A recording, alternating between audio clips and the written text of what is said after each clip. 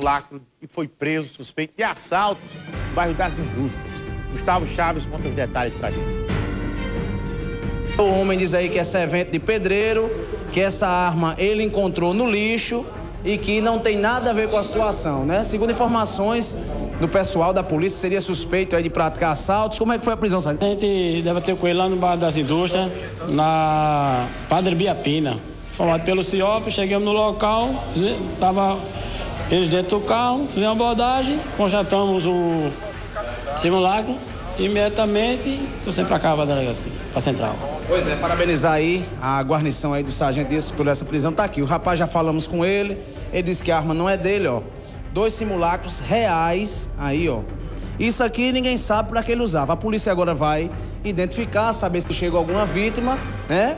Para testemunhar se foi vítima de assalto. Ele disse que é servente de pedreiro, está desempregado.